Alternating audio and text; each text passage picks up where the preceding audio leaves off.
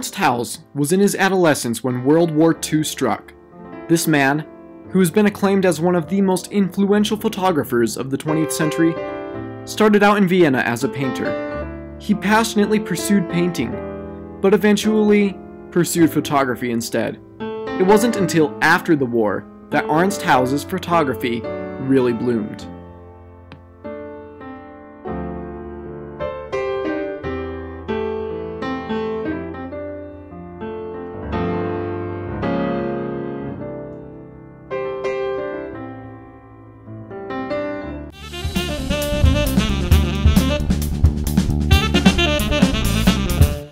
Ernst Haas's first claim to fame was a photojournalist documentary called Returning War Prisoners.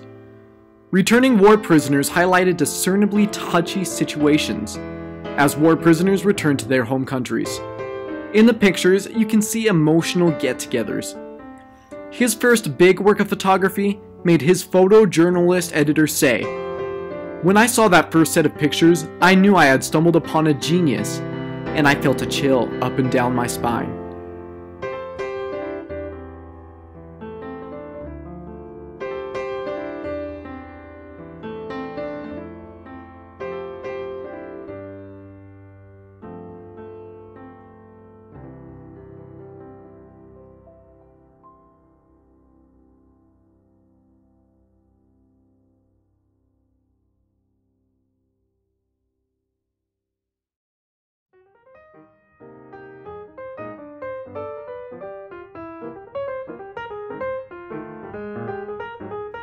The main aim of this photojournalist feat was to produce a sense of angst and empathy for the returning war prisoners.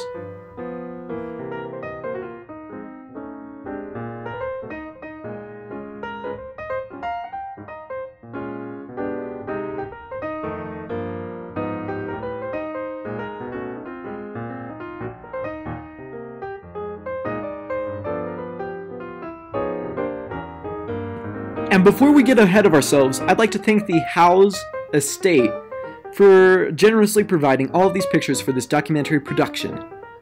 Without you, I would fail Photography 1050. Thank you.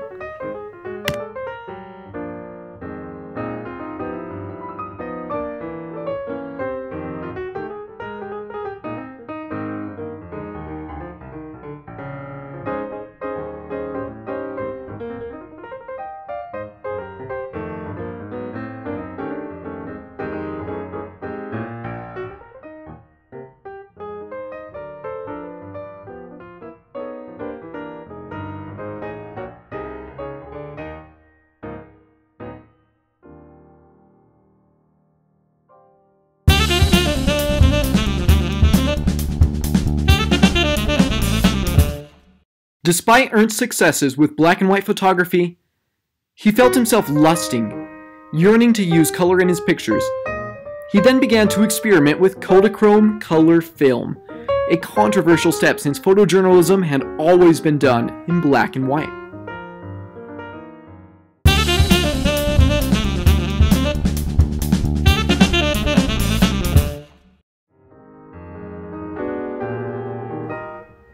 Before we delve into Ernst Haas's journey into color photojournalism, it's important to also explore his photojournal, The Miracle of Greece.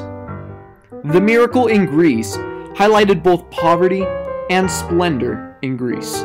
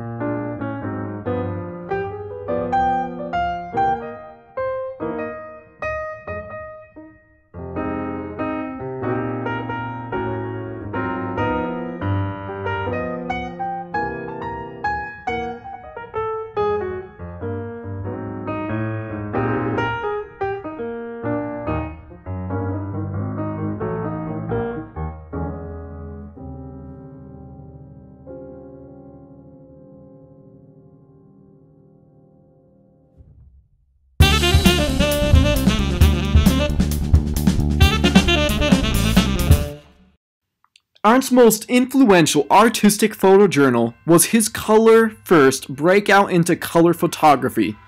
This journal seemed to express a new vibrancy and emotion that was more fitting for New York.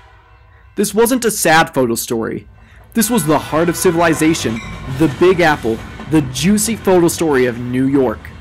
Using color allowed Arndt to break a glass ceiling and truly capture a new emotion not before felt in photojournalistic photography.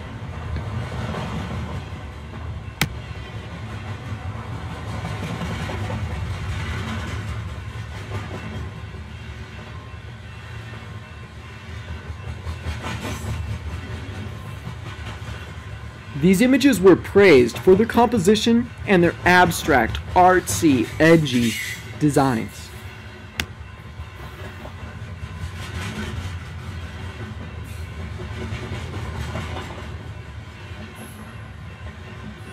As you look at some of his more colorful images, you begin to realize that the vibrance really does tell more of a story than his black and white pictures did before.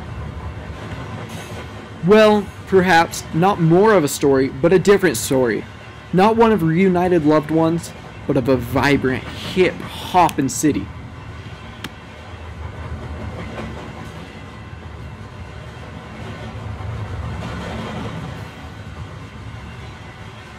Some consider Arndt's ability to use color one of his biggest career breakthroughs. His ability to use color allowed him to do abstract pictures like this one, where the reflection is very prevalent and it's very just, there's something about it.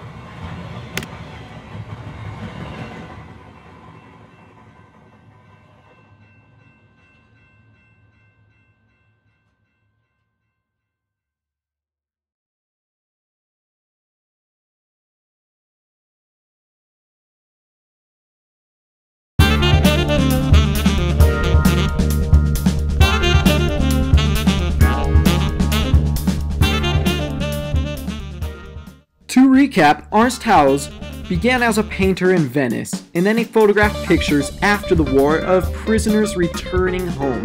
Eventually, his lust for color enabled him to break through in his career and take pictures of New York that were considered phenomenal.